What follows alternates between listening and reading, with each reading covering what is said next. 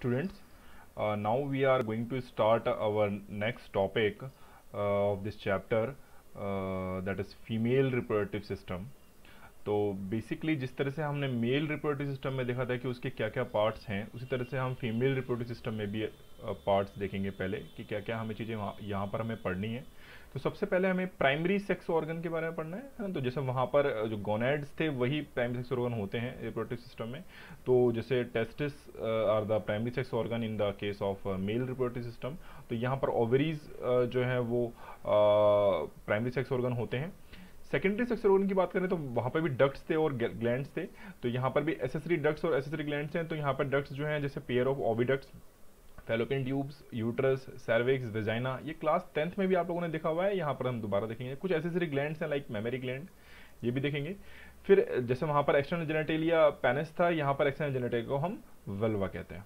Clear तो just इन्हीं चीज़ों को पहले हम डायग्रामेटिकली एक बार देखते हैं कि ये इनकी लोकेशंस कैसी हैं, कहाँ पर ये प्रेजेंट होते हैं, और उसके बाद फिर लाइन बाय लाइन पढ़ेंगे। ओके स्टूडेंट्स एक बार पहले पहले हम ये डायग्राम देख रहे हैं। इसमें से इट इज़ अ फीमेल और उसका ये वाला पार्ट इस तरह से इस व्यू से किस तरह से दिखाई देगा, वो चीज़ें हमें देखनी है। तो सबसे पहले अगर यहाँ पर देखें हम तो just this is the oviduct ये ओविडक्ट होता है है ना? जिसके थ्रू ओवम ट्रेवल करके यूट्रस में आता है। इसके बाद यहाँ पर ओवरी सिम्बलाइज की हुई है। फिर ये यूट्रस है। ठीक है this is the uterus uterus जो होता है वो रेक्टम रेक्टम जहाँ पर फीकल मैटर स्टोर होता है और यूरिनरी ब्लैडर जहाँ पर यूरिन होता है, ठीक है? इन दोनों के बीच में होता है क्लियर ये यूट्रस प्रेजेंट है। यूट्रस और ये यूरिनरी ब्लैडर है और इसका यूरिनरी ब्लैडर का जो ये वाला ट्यूब है दिस इज़ द यूरेथ्रा ठीक है? और ये यूट्रस का जो ये वाला ट्यूब है this is called as the vagina and the opening of uterus and the vagina मतलब ये वाला जो पार्ट है this is called as the cervix clear इसके बाद। जस्ट अब अगर आप इसको इसके पार्ट्स को देखें तो सबसे uh, जो ये आगे की तरफ़ एक बोन होती है this bone is called as the pubic bone ठीक है? और इसको पैल्विस से समझें कि जो पैल्विस है जो हिप बोन्स हैं है ना उन सबसे मिलके ये स्ट्रक्चर बनता है मतलब उसी सब में हिप बोन्स के अंदर ये चीज़ें प्रेजेंट होती हैं ठीक? तो जस्ट uh, यहाँ पर थोड़ा सा इसका एक एनाटॉमिकल स्ट्रक्चर इस पोर्शन में देखते हैं। तो ये यूरेथ ये बेसिकली इसका यूरेथ्रा है ये वाला ये यूरेथ्रा है जो यूरिन ब्लैडर से आ रहा है ये इसका वेजाइना है ठीक है? और जो यूरेथ्रा होता है उसके आगे एक पार्ट होता है जिसको हम क्लिटोरिस बोलते हैं। क्लिटोरिस का जस्ट जो स्किन उसको कवर करके रखती है दैट इज़ द प्रेप्यूज उसके बाद जो उसका ये पार्ट होता है bulgier part that is the gland and उसके बाद जो उसका ये वाला पार्ट है बॉडी क्लियर इन तीनों को मिला के क्या क्लिटोरिस बनती है? क्लिटोरिस जस्ट यहाँ पर दो स्किन फोल्ड्स होते हैं।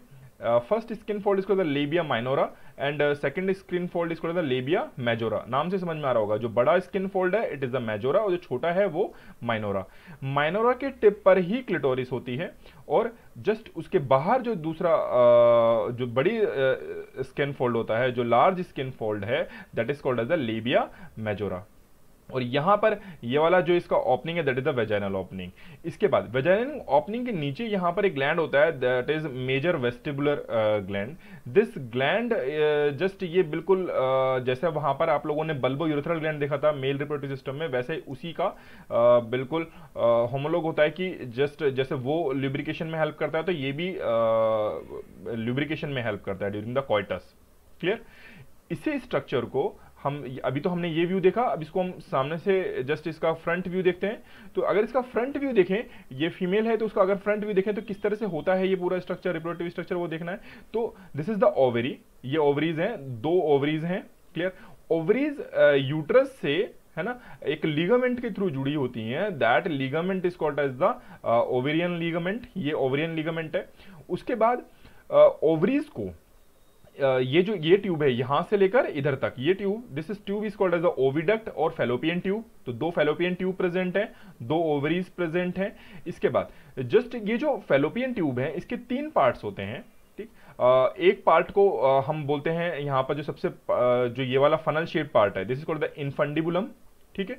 उसके बाद ये इनफंडिबुलम है, इसके बाद यहाँ से लेकर इधर तक का पार्ट इधर से इधर तक का पार्ट जहाँ से ये बैंड स्टार्ट हुआ है, यहाँ से लेकर यहाँ तक का part this is the ampulla ampulla के बाद जो पार्ट जस्ट यूट्रस के साथ में कनेक्ट होगा दिस इस्थेमस क्लियर और ये इसकी ओवरियन ये जो ये ओवरी है, इसके बाद ये पूरा ये यूट्रस है. यूट्रस के जो ये वॉल्स हैं ठीक है? These walls are called the uterine walls इनको भी हम अभी देखेंगे।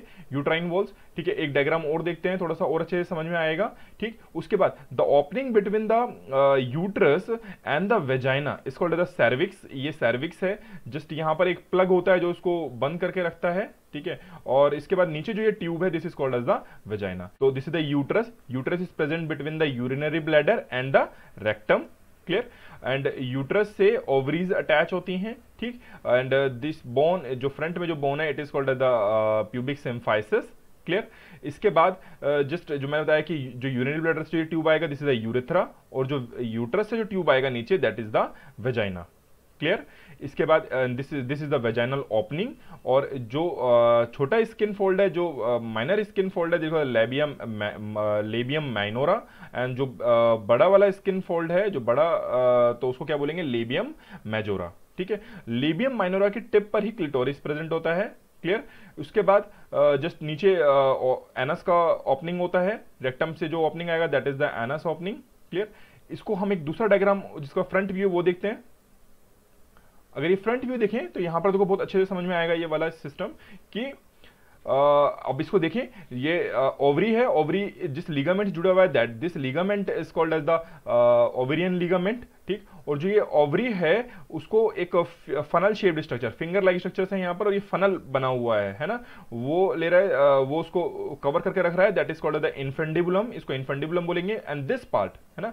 यहाँ से लेकर इस कर्व से लेकर इधर तक का पार्ट क्या कहलाएगा? एम्पुला और इधर से लेकर जहाँ तक कि ये यूट्रस ओपनिंग मतलब जहाँ पर यूट्रस में जाकर ये ओपन होगा। This part is called the isthmus तीनों को मिला के हम क्या बोलेंगे? फेलोपियन ट्यूब क्लियर एंड जो यूट्रस का जो ये वाला पार्ट है this is the uterus fundus थोड़ा सा ये फूला हुआ होता है, ठीक? और दिस कैविटी जो ये कैविटी है अंदर, इट यूट्राइन कैविटी क्लियर उसके बाद जो ये यूट्रस है, इसकी जो वॉल्स हैं, इधर तीन वॉल्स होती हैं। सबसे अंदर की लेयर को बोलते हैं हम एंडोमेट्रियम जो मसल्स हैं ये यूट्रस की, इसमें तीन टाइप की मसल्स प्रेजेंट है। सबसे अंदर की जो लेयर है it is called as the endometrium जो मिडिल लेयर है इट इज़ कॉल्ड मायोमेट्रियम और जो सबसे बाहर है दैट इज़ द पेरीमेट्रियम क्या फ़ंक्शन है इनके? अभी हम दोबारा से देखेंगे बाद में। तो दिस पार्ट जो ये वाला पार्ट है जो ये ओपनिंग का पार्ट है यूट्रस और वेजाइना के बीच में it is called the cervix और ये जो कैनाल है दिस इज़ सर्वाइकल कैनाल ठीक? और यहाँ पर एक सर्विक प्लग uh, होता है जो कि उसको प्लग करके रखता है ना? रोक के रखता है ठीक? नीचे जो ट्यूब है this is called as the vagina ठीक? And this finger like structure is called as the fimbriae कि ovaries are the primary female sex organs that produce female gametes पहली बात, ठीक है? मतलब ओवरीज वो ऑर्गन है जहाँ से क्या होगा कि फीमेल गैमेट प्रोड्यूस होगा ओवम प्रोड्यूस होगा एंड सेवरल स्ट्रॉइड हार्मोन और ये बहुत सारे हार्मोन्स भी सिक्रिएट करती है है ना? जिनको हम ओवरियन हार्मोन्स बोलते हैं। जो भी हार्मोन्स ओवरीज सिक्रिएट होंगे, उनको हम ओवेरियन हार्मोन बोलेंगे, ठीक है? तो they also behave as the endocrine gland clear इसके बाद ovaries are located on one one on each side of the lower abdominal हमारा लोअर एब्डोमेन में प्रेजेंट होती है and remain attach to the pelvic wall pelvic wall basically pelvis से आया जो pelvic bone आप लोगों ने पढ़ा था पैल्विक वॉल पर ही अटैच होती है. And uterus by the uterine ovarian ligament और यूट्रस से जुड़ी होती है ओवेरियन uh, लिगामेंट के थ्रू इसके बाद each ovary is almond like almond like होती है फ्लैट बॉडी होती है measuring about two to four centimeter in length the outer region of the ovary is compose of developing follicles जो just uh, इसके लिए हम एक ओवरी का पहले डायग्राम देखते हैं उसके बाद आपको समझ में आएगा जो इसका इंटरनल एनाटमी है ओवरी की वो एक बार देखते हैं। Uh, ये वाला एक बार डायग्राम देखिए। तो इसमें अगर आप देखेंगे तो जस्ट uh, जो ये ओवरी है ओवरी का इस तरह से सेक्शन कट uh, किया है और ये इसका लिगामेंट है जो कि यूटर से जुड़ रहा था ठीक? इसके थ्रू ब्लड वेसल्स आती हैं। जो इसके आउटर पेरीफेरी होती है ओवरी की यहाँ पर फॉलिकल्स बनते हैं। ये फॉलिकल्स क्या है इनको हम बाद में देखेंगे। अभी के लिए सिर्फ़ याद रखना कि यहाँ पर फॉलिकल्स होते हैं ठीक है? जो ये फॉलिकल्स होते हैं उन्हीं के अंदर आ, ऊ, जो ओवम है वो डेवलप होता है। मतलब कि पहले ऊ साइड प्रेजेंट होता है बाद में वो ओवम में डेवलप हो जाता है। क्लियर जो ये वाला पार्ट है जो इसके बाहर की पेरीफेरी है ठीक है? ये वाली और जो इसका बीच वाला पार्ट होता है जिसको होता है मेडुला और इसी मेडुला के अंदर ब्लड वेसल्स आती हैं। तो जो भी हॉर्मोन्स यहाँ पर प्रोड्यूस होते हैं ठीक है? और वो पूरी बॉडी में ट्रेवल करते हैं। तो वो इन्हीं ब्लड वेसल्स के थ्रू क्या होते हैं? बाहर बॉडी में जाते हैं। तो ब्लड वेसल के थ्रू जा रहे हैं। दैट्स वाई ये क्या है? एंडोक्राइन ग्लैंड है। क्लियर तो जो भी हार्मोन्स यहाँ प्रोड्यूस होंगे ओवरी के अंदर, वो इन ब्लड वेसल के थ्रू जाएँगे और जो भी सब्सटेंसेस आना है, वो इसी ब्लड वेसल के थ्रू आएगा। तो इसमें से एक आर्टरी है और एक वेन है। क्लियर अब आप लोगों को ये समझ में आ रहा होगा कि जितने भी फॉलिकल्स हैं, वो आउटर पेरीफेरी पे प्रेजेंट है और जो बीच वाला रीजन है it is called as the medulla the outer region of the ovary is composed of developing follicles and middle region forms the stroma जो बीच में जो रीजन है जिसको मेडुला बोल रहे थे, उसी को क्या बोलते हैं? Stroma which contain connective tissue ठीक है? जिसके अंदर कनेक्टिव टिश्यू ब्लड वेसल्स और मैच्योर फॉलिकल्स ये सब उधर रहते हैं। The stroma is divide into the two region जो स्ट्रोमा के जो दो रीजन हैं, एक पेरिफेरल कोर्टेक्स जहाँ पे फॉलिकल्स प्रेजेंट है और एक इनर मेड्यूला क्लियर इसके बाद नेक्स्ट ओविडेक्स के बारे में देखते हैं। तो these are two small tubes about 10 to 12 centimeter in length lying on either side of the uterus near the kidneys the opening of the fallopian tube is expanded into the funnel shaped structure called as the infundibulum and the end of the infundibulum has the finger like structure projection called as the fimbriae these fimbriae collect the ovum from the ovary ठीक है during ovulation ovulation के time पर जो ovum आता है वो fimbriae के through ही infundibulum में जाता है मतलब फेलोपियन ट्यूब में जाता है। They move closer to the ovaries at the ovulation ovulation क्या होता है कि uh, जिस टाइम पर ओवम ओवरी से फेलोपियन ट्यूब में आता है तो उस प्रोसेस को हम ओव्यूलेशन कहते हैं। ओवरी से जब ओवम फेलोपियन ट्यूब में आता है that process called the ovulation है ना?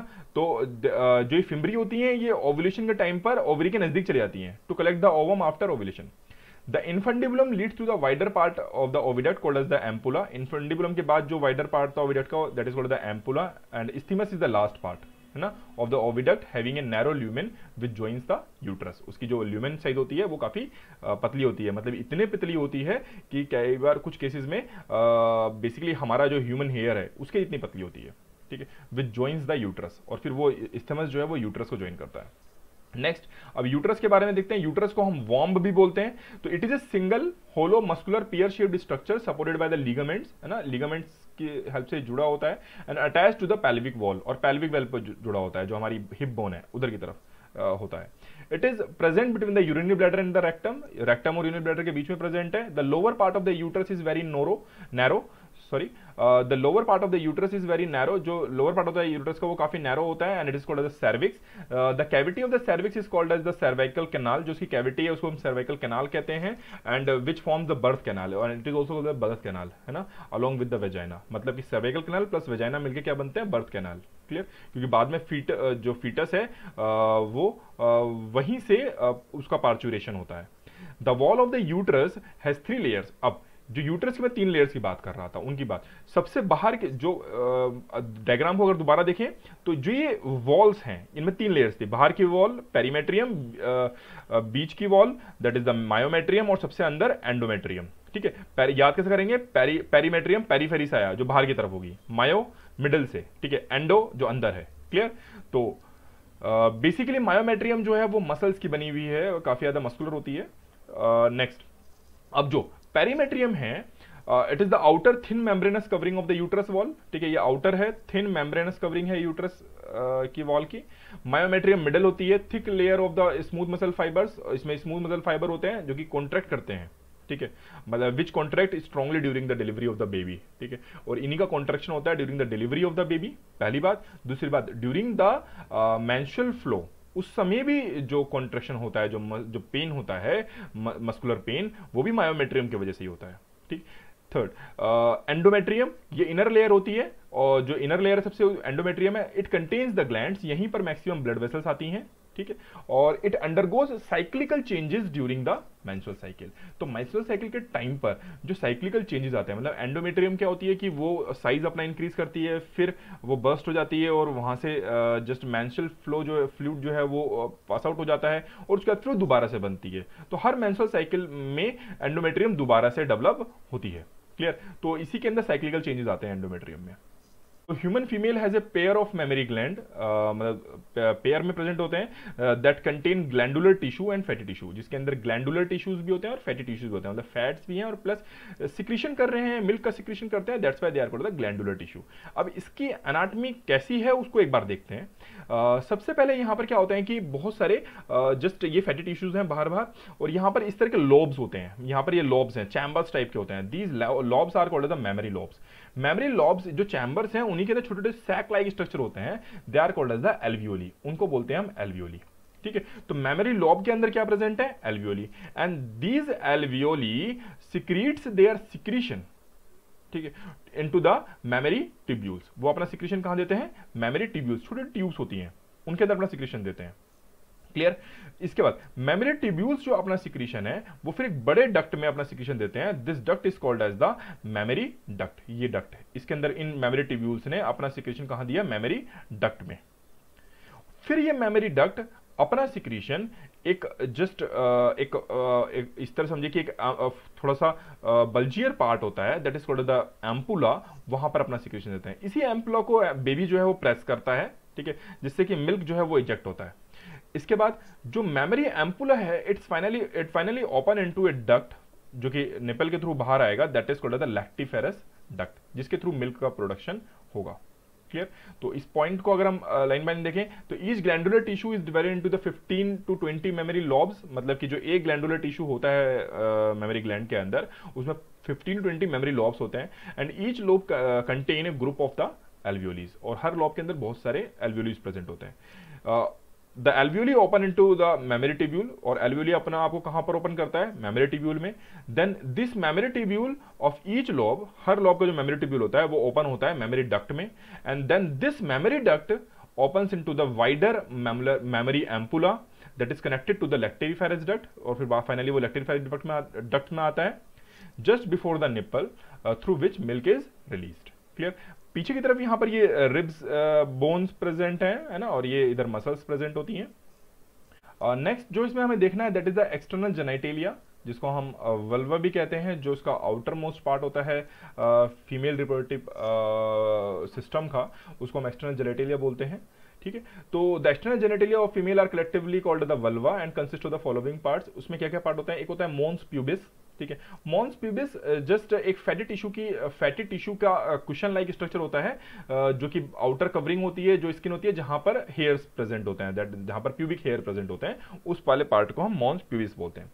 मॉन्स प्यूबिस के नीचे जो बड़ा फोल्ड होता है स्किन का it is called the labia majora तो two fleshy fold of the fatty tissue मतलब ये फैटी होते हैं which extend down from the mons pubis mons pubis के नीचे होते हैं and surround the vaginal opening और वेजनल ओपनिंग को कवर करके रखते हैं।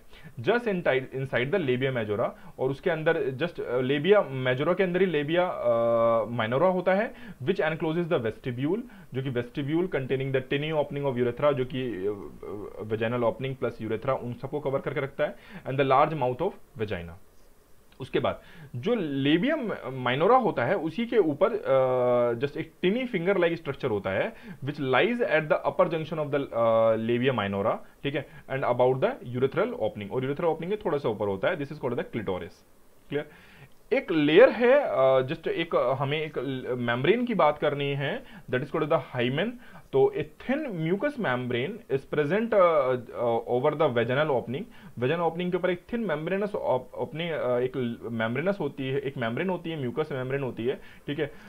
जो कि या तो वेजनल ओपनिंग को पूरी तरह से कवर करके रखती है, या या थोड़ा सा पार्टली कवर करके रखती है।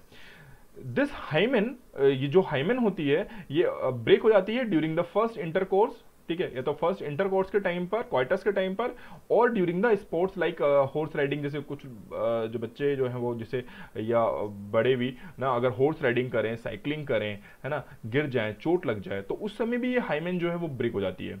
हेंस प्रेजेंस और एब्सेंस ऑफ़ हाईमेन है ना? भाई मतलब हाइमेन जो है ना ज़रूरी नहीं कि सिर्फ़ इंटर कोर्स की वजह से ही ब्रेक होगी। clear. It uh, it also breaks due to the sports and uh, due to the uh, some activities uh, other than the intercourse. So hence presence or absence of hymen is not a reliable indicator of virginity or sexual appearance experience. Next class में हम लोग अब gametogenesis पढ़ेंगे।